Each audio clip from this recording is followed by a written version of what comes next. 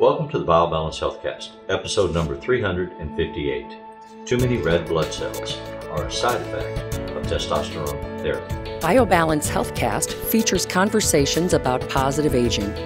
Your hosts are Dr. Kathy Maupin, Medical Director of BioBalance Health and a leading expert in treating symptoms of aging, and Brett Newcomb, a licensed professional counselor. Dr. Maupin and Brett are the authors of The Secret Female Hormone, the seminal work about hormone replacement therapy for women, which is available on Amazon or from Dr. Maupin's office at BioBalance Health. Dr. Maupin's office is currently accepting new patients. What is erythrocytosis? Erythrocytosis is how I pronounce it, but there's other pronunciations. I went to school in the South. We Yeah, so put you're extra erythro. vowels in. Yeah. So erythrocytosis is um, the condition where you have too many red blood cells, and if you remember, red blood cells are the are the cells in your blood that actually carry iron and carry oxygen. So they contain iron and they carry oxygen to all parts of your body. So that's very important. And you would think, well, what's what's wrong with having too many? Because then I carry more oxygen. right. But the cells are part of the uh, volume of fluid that goes through goes through your blood, your veins, and your arteries. And when it you have too many cells in there, then it makes it thick. So thick blood is not good for you. Thick blood is uh, basically makes your heart work. Excuse me, heart work um, with more difficulty. It has to push harder It, it clogs up the, it, it's thick and it's clogs up the veins It's just physical. If you think of physics, pushing a, a, a thick liquid Uh-huh. is much harder than pushing a thin liquid. Right. So, in general, it is less than half of the volume of your blood. So, the other part of your blood is plasma. Plasma is that clear yellow fluid that uh, you can have red blood cells taken out of your plasma to look at different things in your blood by the lab. And it looks kind of like just straw colored, clearish fluid. It's not as thin as water, but it's thinner than jello. So when you put these two together, you have to have a less than half of your blood should be cellular or red cells. So which part, the plasma part or the red blood cells part, carries the hormones? The plasma part, Okay. the red cells just carry oxygen. So So it's like a freight train and a passenger train. The- freight train is carrying the iron and the oxygen. the real heavy and stuff. the passenger train is coming with the, the messages that operate everything. Right. That's right. That's right. So so one of the the issues when we give testosterone is that some men genetically have higher uh, levels of red blood cells when their testosterone is high. So when we give them testosterone as pellets or shots or any other way of getting testosterone, then they make too many red blood cells and their blood gets thick. So these particular men, if they're It's genetically not every man. right, but if you if they have a total testosterone volume of X, they're going to have more red blood cells. Period. Right. No matter what. Right. So if they have it because they're naturally generating it, Yes. or if they have it because you've given it to them as a supplement, Right. Mm-hmm. to their natural amount, they're going to have thicker blood. it's a trigger. Um, testosterone is a trigger for um, people to absorb more iron into their system. That's one thing. And it's also a trigger to the formation of red blood cells, more red blood cells in your uh, bone marrow. So, so for So that two- it subset works two of the ways. Mm-hmm. population, it's a negative side effect to, It's- to have testosterone. Yes, it's a negative side effect. So those are the patients that we have to be very careful with. If they really need testosterone to be healthy in other ways, Right. then we have to find them, basically have to do a blood count, a CBC. We have to find those people and we have to follow them and treat them if necessary. So, so you don't give them a genetic test. You just do what's a, a CBC, which is a, a blood count, a blood, a red blood cell count. Red, red their blood cell count. We also look at white cells, but they don't have the volume that red cells have. Right. They're they're they're more uh, infrequent. So we're just looking at the red cells, and that's really what the uh, testosterone does affect. It is it is based on the the severity of the red cells and or the the level of the red cells in the blood is based on on the dose of testosterone or the blood level of testosterone. So we can adjust this in many people and decrease their testosterone level. For, well, for instance, a lot of your male patients come in twice a year. Right. If that if, if I'm one of those people that has that genetic predisposition, and I come in twice a year and I get uh, testosterone replacement, Mm-hmm. then my red blood cell count may go up, and then that exposes me to what kind of risks medically. Okay, so it's it's this isn't as much based on the fact that you're getting it twice a year. It's that when you get your testosterone twice a year, it goes up higher at the beginning. Okay. Just so that it can last at a normal level. So if I get my testosterone, for instance, I, I could get it quarterly Right. Instead of semi-annually. Yes. So if I got it quarterly, I get less volume of testosterone each time. Less dose and, and that would have put me at a, less of an increase uh, of the red blood cells. Yeah, the bump the bump isn't from the testosterone isn't as severe if you get the pellets uh, less often. So, so if I am genetically predisposed, once you've determined that, Mm-hmm. then in order for me to continue to get testosterone, which I need for other things, Yes. I should get it less amount but more frequent. Yes. Okay. That's one of the ways that we That you monitor. manage this so that it doesn't get too high. Yes. So then the next question was what happens to you if it gets too high? Yeah. So well anything that causes strain on the on the heart is not good for the heart. So that means your heart muscle is having to put out more energy to actually pump the blood. That can lead to high blood pressure. It also can lead to heart disease. Does it make a difference between systolic and diastolic? I mean, I know one is the amount of flow control and the other is the amount of pressure in the blood vessel at all times. Well, sys- systolic is is the when the heart muscle squeezes Right. and pushes the blood, it has a higher pressure Right. than when the valves close and the and the chambers of the heart fill with blood. Mm-hmm. Then the blood pressure is lower, waiting for that next surge of So blood. having the excess red blood cells doesn't doesn't make a difference in the in the diastolic. diastolic, it's Okay. going to make more of a difference in the systolic. systolic. Okay. But so that's that's one problem that we worry about, and there's certain levels of uh, hematocrit that we look at. Hematocrit is the percentage of red blood cells that you have in your blood volume. So when we look at this, we look for anybody between 47% and mm-hmm. 50%. When we get to in that level, we actually bleed them. We remove blood, do a phlebotomy, or if they're below 50%, they can actually give blood So uh, and donate it. right, F- full confession here. I am one of those mm-hmm. people that's genetically predisposed to this. Mm-hmm. Yes. And when I first came to see you to get pellets, I was mm-hmm. on a twice a year schedule. Yes. And as a result, you had to actually write a prescription. Once we determined that I had that surge of red blood cells, Mm-hmm. you had to write a prescription for me to go to the Red Cross or some other blood donor center, Mm-hmm. not to donate my blood, but to have it drawn out and thrown away. Right. So if the hematocrit is above 50%, then the, the Red Cross won't take it. They Right. think there's something wrong with your blood. Now, honestly, I'm not sure why that would be. They would get more red blood cells. Right. And it would be helpful for someone who has blood loss. But there's they're concerned that there might be something wrong with it. I'm not sure exactly what. They couldn't tell me. So they don't take it and give it to someone else Right. they will up to a hematocrit of 50%.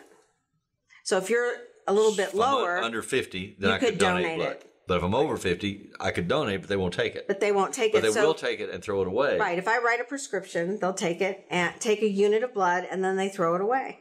Well, and I found out, I mean, it got so frustrated with their system because Mm-hmm. when you gave me that prescription, I just wandered down to the Red Cross, said, Here I am, can you take out some blood? They're like, Oh, oh, no, no, no. We have to schedule an appointment. We only do it on these days of the month. You have to come And in. they were completely empty, right? Right, They, nobody- no one was there. They exactly. could have done it right then. But no, because of all their technical qualifiers. Mm-hmm. And they had to uh, see my driver's license to make sure that I was me uh, and take that blood and then throw it away. right. But I- it, it, it, It doesn't really, make a lot of sense and it's very frustrating. frustrating. Yeah. And um and we're in the process of trying to figure out a way to to do it in our office for the I for hope you're the able to because patients it's a pain in the patootie to have to deal with those because systems. we know them and we don't have to go through all that and we're just throwing the blood away so we have to just do it in red bags you know Right. because it, it's a fluid from a person Right. so you have to do you have to dispose of it in a certain way so we are working on that Okay, but So- but now you've switched me from a semi-annual to a quarterly Mm-hmm. Dosage uh, insertion, and since you've done that, I haven't had to give away any blood. Right. And we've found, and this isn't something I was trained with, we found that if we don't use the the six month dose, that you don't get an increase or a, a surge of a very high level, non physiologic level of testosterone for maybe the first month, which would trigger more blood cells.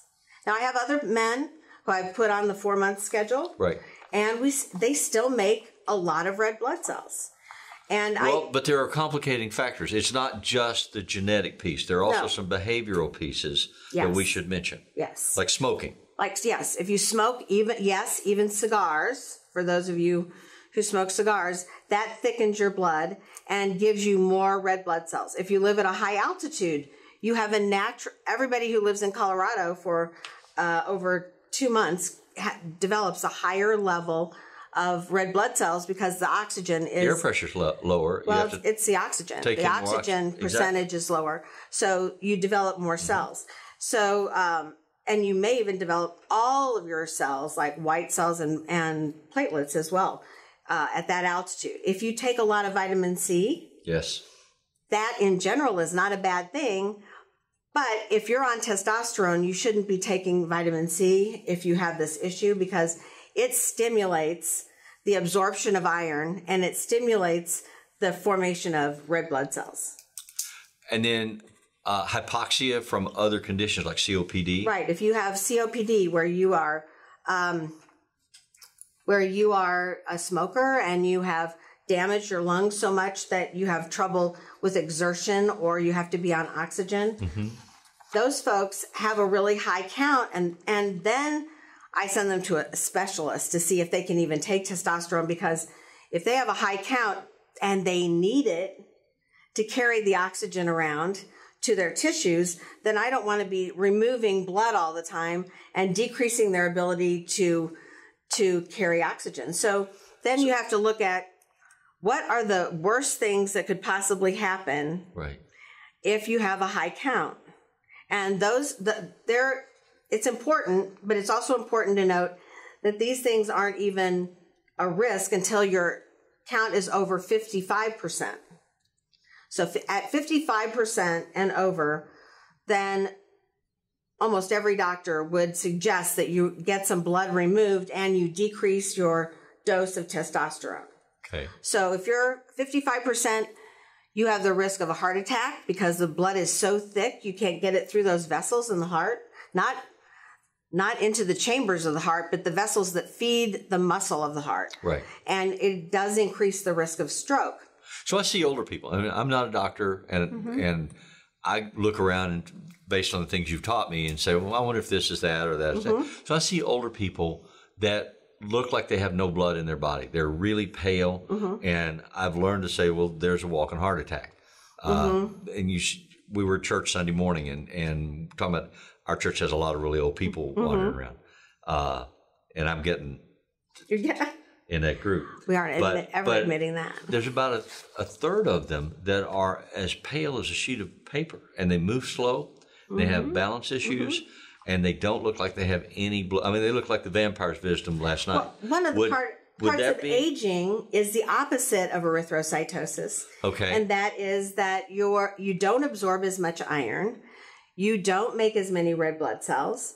You do get pale because you don't have the blood flow to the skin, but also because of the heart attack issue. If you ha- if your heart doesn't pump as well as it should, then all the vessels in your skin constrict, so that you don't get as what much I was blood asking uh, to your face. that could that potentially be a red blood cell issue because their blood is thicker and their heart can't pump as much No, they don't look like that when they have erythrocytosis. so what do they look like Erythrocytosis usually makes somebody's face look really ruddy, kind of reddish. like a drunk I Uh, no, I'm serious. I mean, I, I don't, don't mean to be. I haven't. I mean, I haven't looked at people and known they were alcoholics very often. You are currently as many alcoholics as I have. Yeah, you've had them in your family. Yeah. And so I, I guess that's the same look, that kind of swollen, swollen face and red, red ruddy look. Yeah, I would. I would But first assume nothing- alcohol, not blood. Right, but it has nothing to do with alcohol in this case. Right. It has to do with lots of red blood cells, but you look opposite of what aging does. Age, I mean, aging and becoming frail and the loss of testosterone is pretty much the opposite of when someone's testosterone is normal or high normal and they get too many red blood cells. Okay. So they're, the happy medium is where we're what we're shooting for, not high or low. So, as a physician, if you see somebody that their their face is reddish, almost purple, and they're not just overexerted Mm-hmm. Or they're not out in tan. the sun Yeah, too they're much, then your first thought wouldn't be alcohol; it would be it, it would be a high blood count. And there's lots of other reasons you can have a high blood count. You know, then I mean some pe- some people even take iron and iron supplements. and in general iron isn't indicated unless you have honest anemia and Right. you can have anemia from aging or you can have anemia because you have uh, bleeding in your intestines, which is one of the causes right. Of anemia, and then you need iron for a certain period of time to build your count back. But that can be dangerous in people who have high hematocrits, high hemoglobin, which is really counting the amount of iron in the in the red blood cells. So that's something that women shouldn't take iron after menopause unless a doctor prescribes it. So if it's in your vitamin, get a different kind of vitamin. And men shouldn't take iron unless they're taking it for a particular reason. But m- most men, since men don't have periods and don't bleed uh, monthly until, like we do, until menopause, they they have higher levels of of um, red blood cells in general. In fact, we look at the hemoglobin and hematocrit of a man, and its normal is higher than a, a, a woman because women in general are losing blood all the time. Right. The same effect as just going to Red Cross and having some taken Right, out. right. And and depending on the severity of the periods, it's almost it could be like that. So you have to. There's a surge after you have testosterone replacement, Mm-hmm. where the red blood cell count increases for those people that are genetically suffering from Mm-hmm. this. Uh, that surge is the issue of concern because Mm-hmm. then you have the- possibility of a stroke or a heart attack or some If it's over other- fifty if it's five over percent.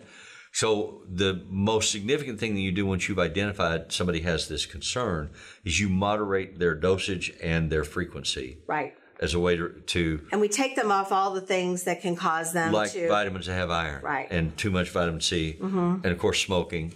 right? And some things we can't take them off of, like diuretics for high blood pressure. Right. If you are on a diuretic, you make your um, blood count even higher because you're dehydrating yourself. Oh, interesting.